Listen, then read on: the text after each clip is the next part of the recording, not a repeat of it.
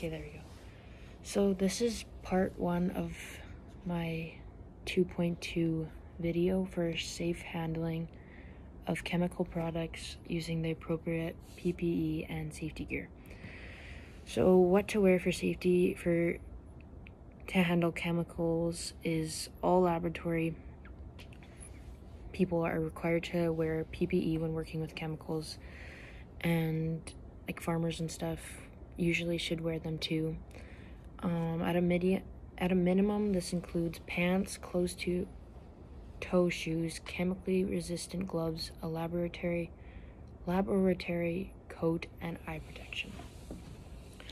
How to be safe around chemicals is you should not breathe dust, fume, gas, mist, vapors, or sprays that are like you should be wearing a some kind of mask. Um, you're supposed to wash your hands thoroughly after handling or other body parts if you get in contact.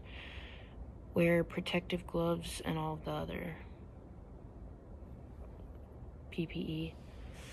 Uh, keep the chemicals stored locked up and in a safe place and keep only in original container rather than in other containers and transferred.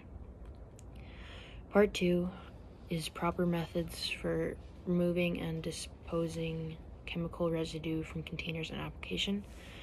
Um, if the container is free of hazardous chemical residues, it may be